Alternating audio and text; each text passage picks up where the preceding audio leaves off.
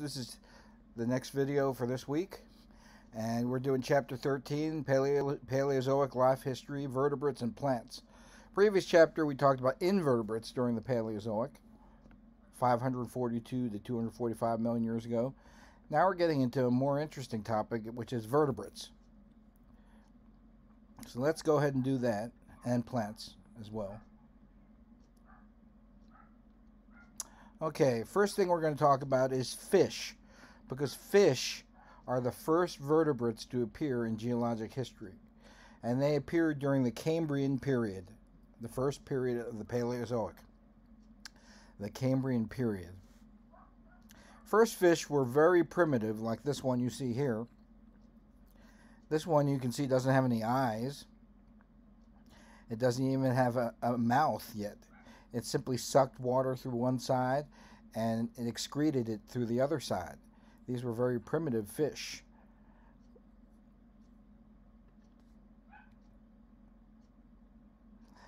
Most people think that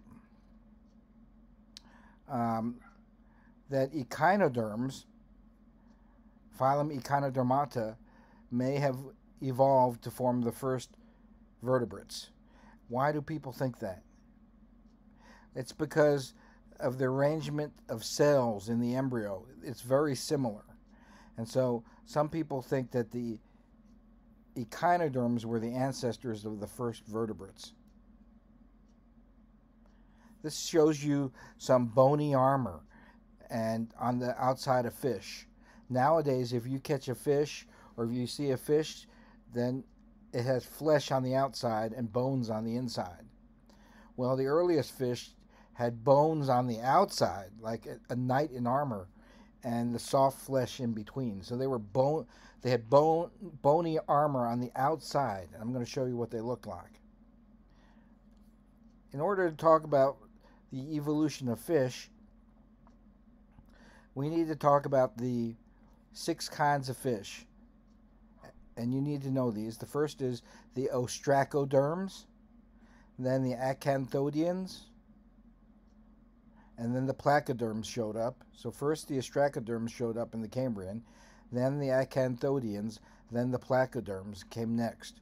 These three types of fish are, as you can see, are all extinct. They did not make it into the Mesozoic era. There is no ostracoderms, acanthodians, or placoderms alive today. They had bone on the outside of their body, and I'm going to show you what they look like.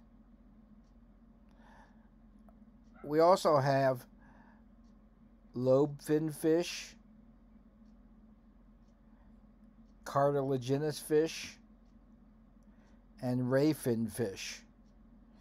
And all three of these types of fish exist today.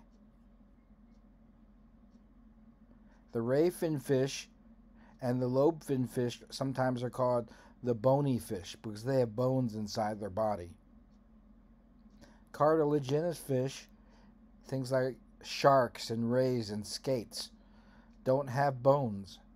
They have cartilage, and we call them the cartilaginous fish. Almost every fish that we see alive today are ray fin fish. And that includes every fish you've ever seen, probably. Um, trout, bass, walleye, flounder, salmon, whitefish, catfish, bluegills, tuna. Uh, this is the dominant fish type on the planet today, the rayfin fish. Lobefin fish are kind of rare, and we, we actually thought these were extinct until the 1920s when somebody found some of them still alive. Cartilaginous fish are also quite common. They include sharks, rays, and skates, and we'll take a look at those later. First, let's focus on the three ancient forms of fish that only existed during the Paleozoic era. The first fish to appear in the rock record are the ostracoderms. Let's take a look and see what they look like.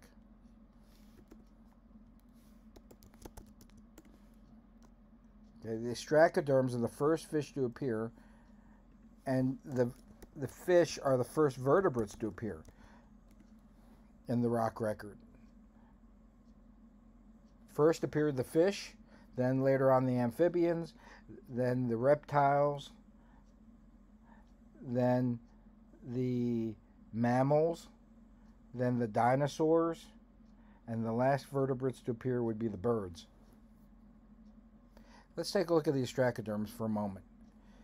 This picture here shows you some different ostracoderm fish, and they, they look nothing like the fish we have today.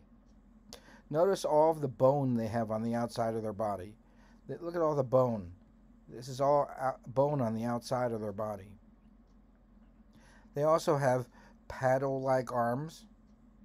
Some of them didn't even have paddle-like arms. They had to just like wiggle on the bottom of the ocean.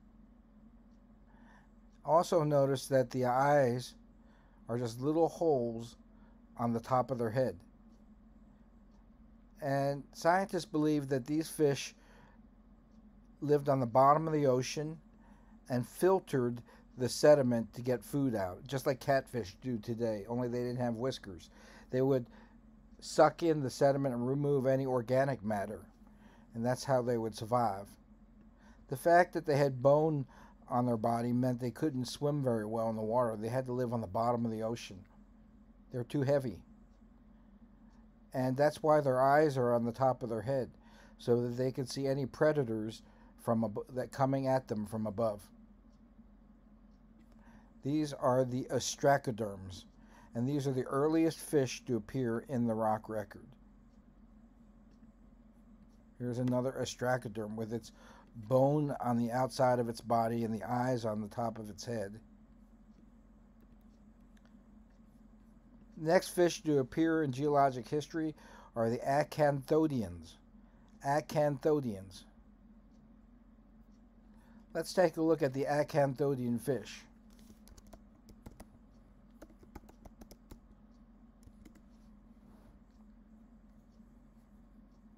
Here you can see some different acanthodian fish. And these fish had bone only around the head. So they had bone around the head. And these are the first fish to develop jaws for chewing food. Notice that many of them had two dorsal fins, or sometimes numerous fins on the bottom, pectoral fins, and their dorsal fins were, their tail fins were long on the top and short on the bottom, like this. These are the first fish that could chew food, giving it a big advantage because it, it, once you chew food, it's easier to digest food. And since they had less bone, they only had bone on the outside of their head, they could swim. They were nectonic. These are called acanthodians. And they're the second type of fish to appear in Earth history, acanthodians.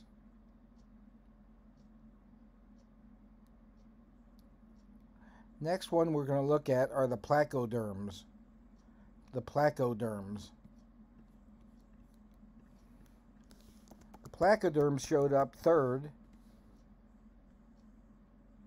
And these were enormous monster fish with bone around their head, like you can see here, and razor sharp teeth. These were monster like big fish. Some of them growing 15, 20, 30 feet long with bone on here they're different than the acanthodians we looked at because the acanthodians were much smaller and some people call the acanthodian spiny fish because they've got all these spiny fins. Now let's go back to the placoderms again. And these were the largest fish that lived in the oceans of the Paleozoic era. Very muscular bodies. And you can see the, these They have these two front teeth that are sharp and four on the bottom. Just to give you an idea how big these things are, there's a human being compared to a placoderm fish.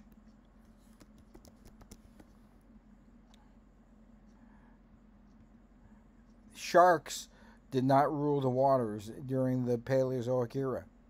It was the placoderms, these enormous, large, fierce fish. In fact, you can see here that sharks were dinner for the placoderms.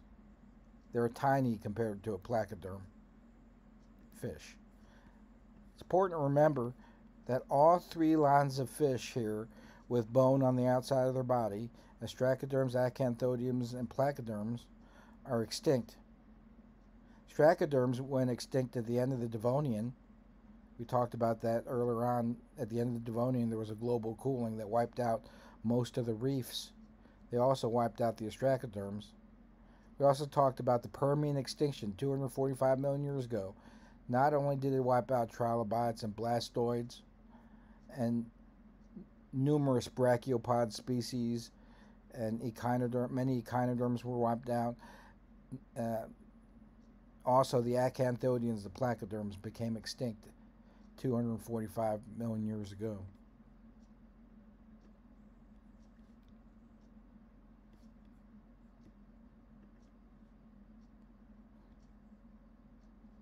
So let's once again uh, take a look. So, you, so on the test, you'll remember you got the astracoderms on the bottom with the eyes on top of their head and these paddle-like arms.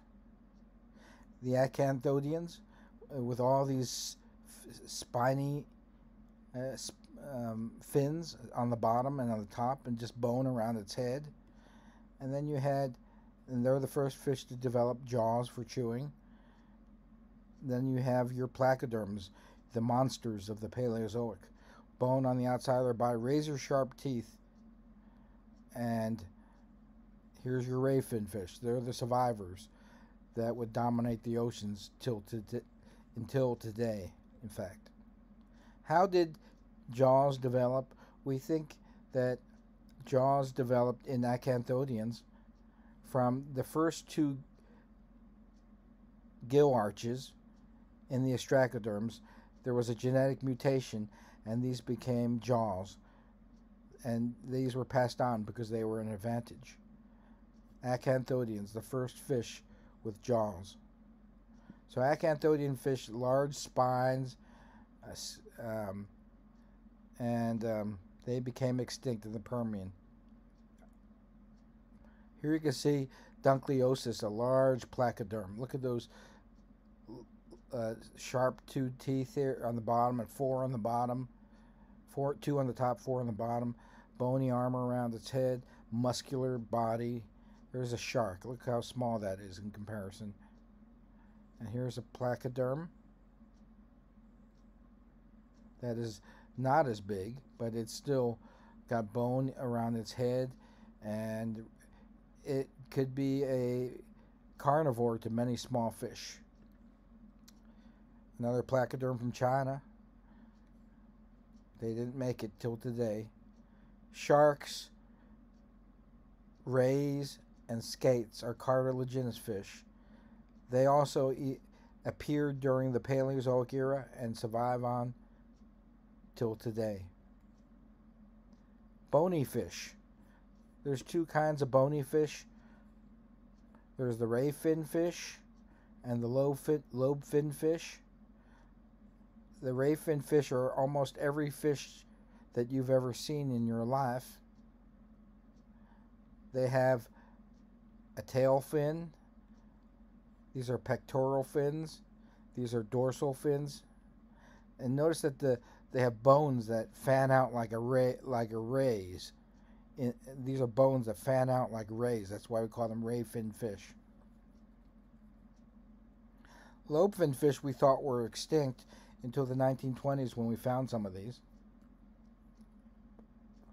And the interesting thing about some of these lobefin fish is that in lakes in Africa, we find that these have they have hand bones going into their hand bones going into their fins. What in God's name is that for? Well, what happens is when the lakes dry up in Africa, they can hold their breath for maybe half an hour or more and walk to another lake. It's a survival mechanism. And lobefin fish, so they ha- actually have hands. You can see the finger bones here in their fins. They can walk when they need to. Those are called lobe lobefin fish.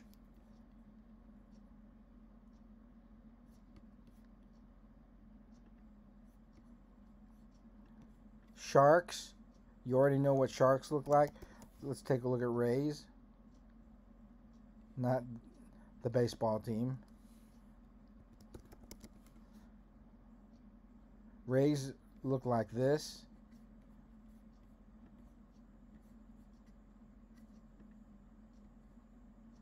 And skates.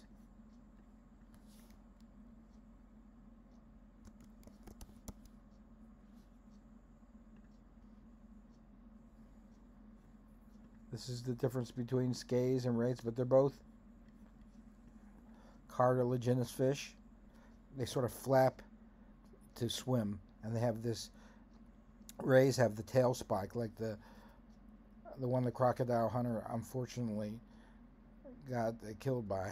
This one doesn't have a, a tail spike. The skates don't.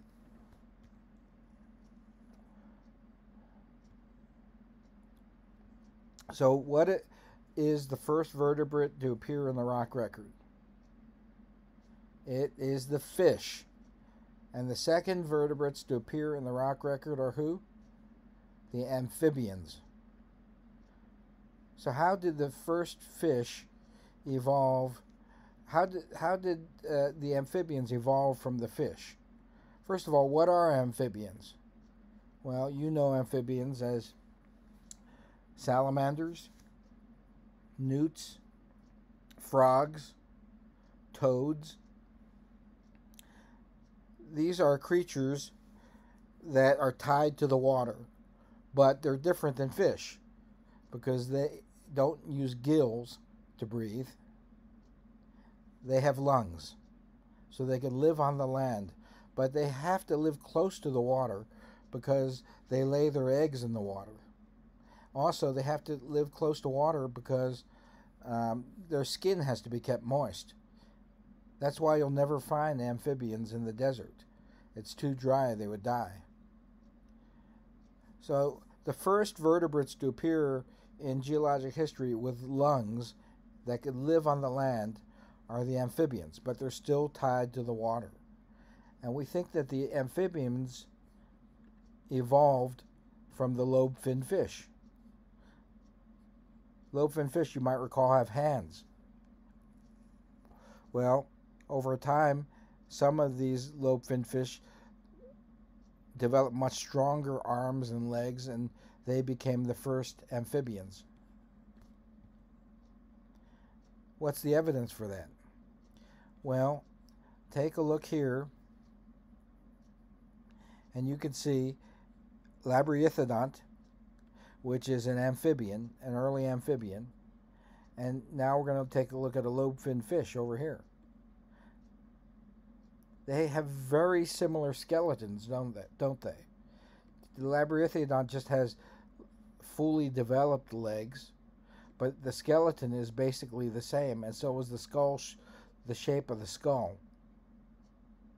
Therefore, most scientists think that the first amphibians like Labyrinthodont, evolved from the lobe-finned fish.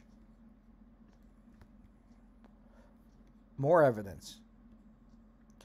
Look at the legs of a Labyrinthodont, which is an amphibian, versus lobe-finned fish. They have the same bones. The ulna, the radius, and the humerus. H radius. Um, the, the radius bone is here, uh, ulna bone is here in both. The humerus bone is here in both. They must have been related. We think that this is pretty strong evidence, once again, that the amphibians evolved from the lobe-finned fish. Also, look at the teeth. Teeth are very, very diagnostic.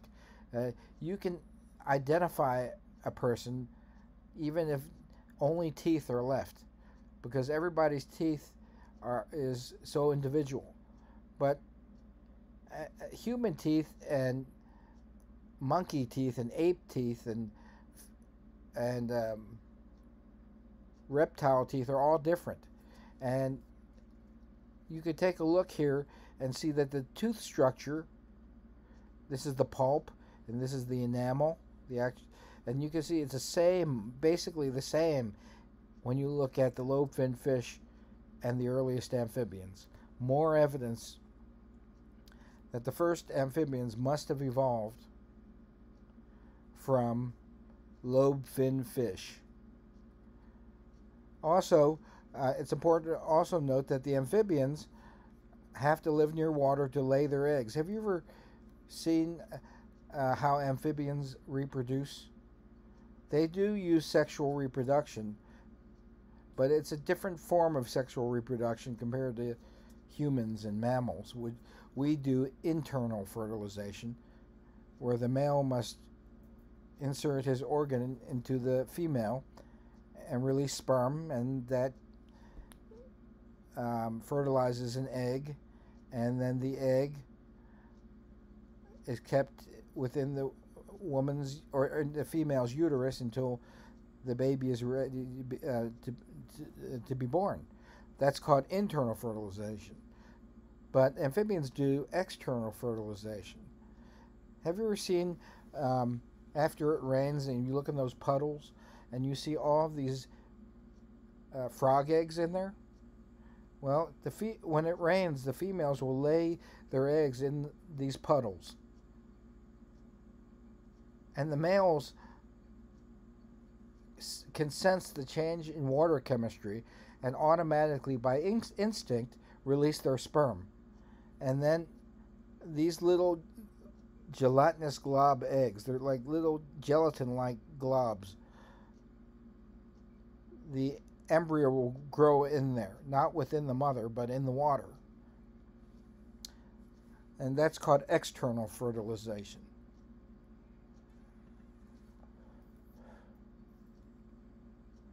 The amphibians would dominate the land. Some of these quite large, 10, 15 feet long, razor sharp teeth. They weren't runners. They were slow creatures, ponderous creatures, but they were the first big vertebrates to invade the land.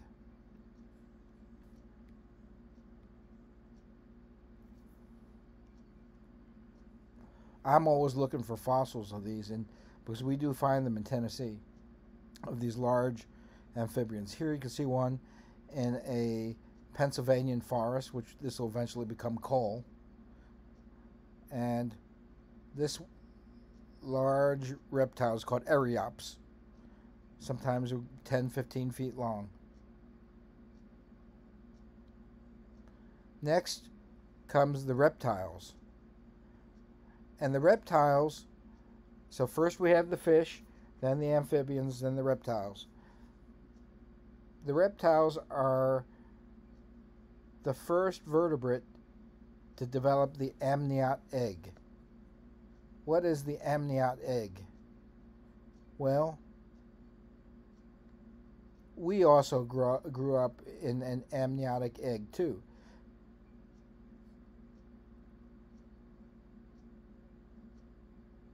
But this shows you the first amniotic eggs were from the reptiles. The reptiles have a shell, and then there's uh, what we call the chorion, you ever open up a chicken egg and you see that little peel on the outs on the inside of the eggshell? That's called the amnion, which surrounds the chorion. I'm sorry, it's called the chorion that surrounds the amniotic, amniotic cavity. In the amniotic cavity grows the embryo, and you have a yolk sac. You can see that. That's we eat that when we eat chicken eggs but that we find those for reptiles too. It's a food source for the embryo living in the amniotic cavity, and th- then we have a waste sac called the allantois. So this is the basic structure of an amniotic egg. The first vertebrates to develop an amniotic egg are the reptiles.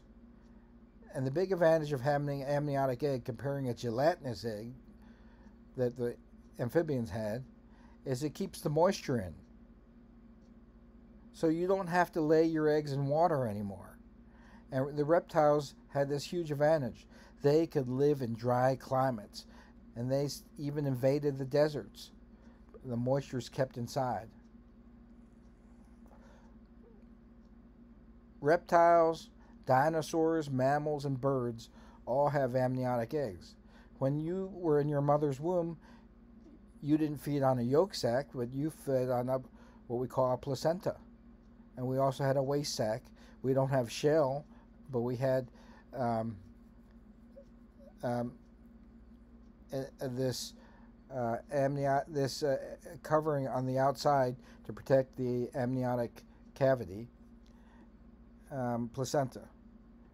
So we instead for mammals like humans, we have a placenta.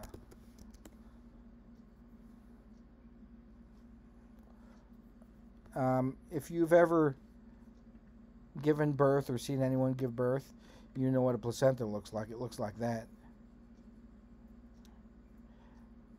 I was so stupid when my daughter was born.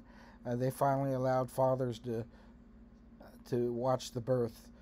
Uh, prior to that, uh, fathers were not had to sit in the waiting room, and then they'd have to walk back and forth nervously, and wait until the nurse came in, told them that the the baby's born. That's the way my son was born. The fathers weren't allowed in, but when my daughter was born, they finally let fathers in to watch the birth. And be, I was ignorant, and I and I and the doctor. Uh, um, gave birth, uh, you know, and he pulled this thing out, and I didn't know what a placenta was, and I said, I thought, oh my God, my baby's deformed, but that was just a placenta. That's really stupid. Anyway, um, so the first reptiles to appear appeared during the Mississippian, and there's two lines. This line here called Thecodontians. You, could, you see these are bipedal reptiles, bipedal meaning they walked on two legs. Thecodontians would eventually evolve into the dinosaurs in the Meso- during later on during the Mesozoic era. Then we had another line that led to the pelycosaurs, a common reptile that lived only in the Paleozoic, and then the therapsids, who are the ancestors of the mammals. We'll take a look at therapsids later on. First, let's take a look at pelycosaurs. In Jurassic Park, you see these things, and people say, "Oh, they have them as dinosaurs." They're not. These are not dinosaurs. These are reptiles. Why? How do we know that they're not dinosaurs? Well, let's take a look at a dinosaur skull, which is called a diapsid skull.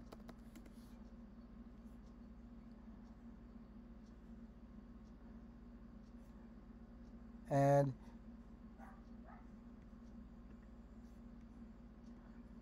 dinosaurs have these two holes behind the eye socket.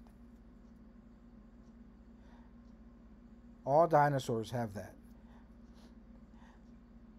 These pelycosaurs only had one. And so these are reptiles. They're not dinosaurs. They did have razor sharp teeth indicating they're predators and a large brain case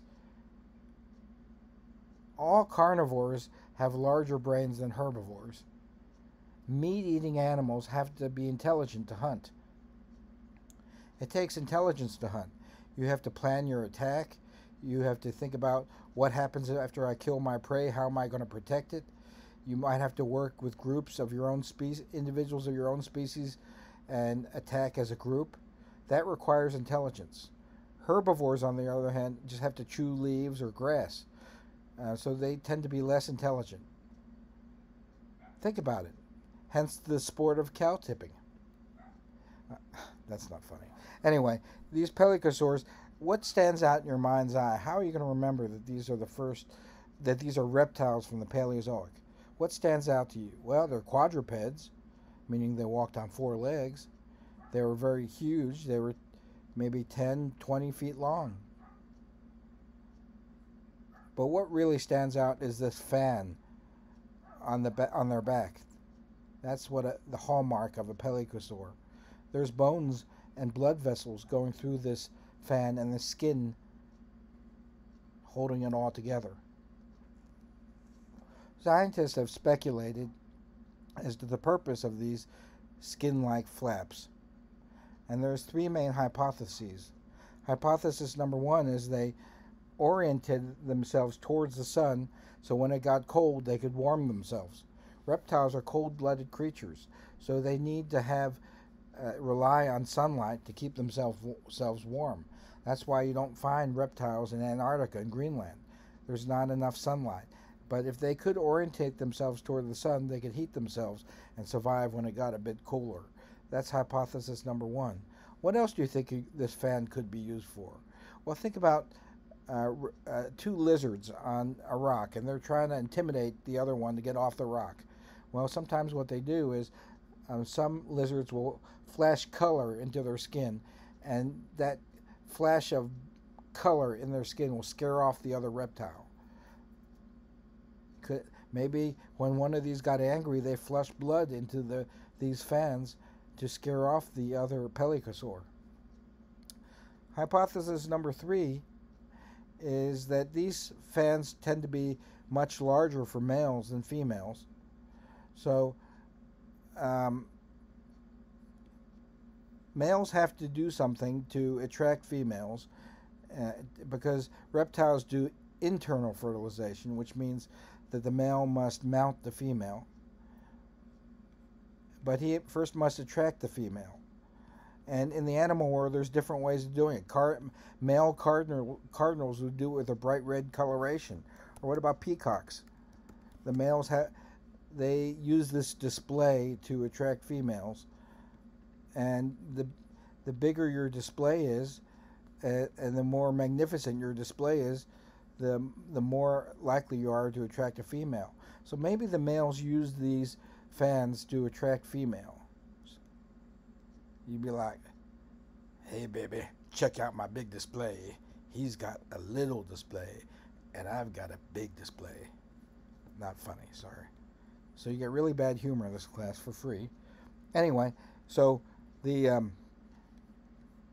therapsids would be the first mammals, and they evolved from reptiles.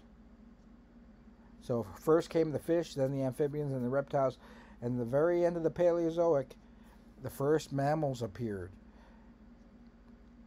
And mammals are different than reptiles in that we're warm blooded. We can maintain our body temperature. Therefore, we can invade the colder parts of the planet. There are many other things that, about mammals that make us different than reptiles, which we'll talk about in the next video.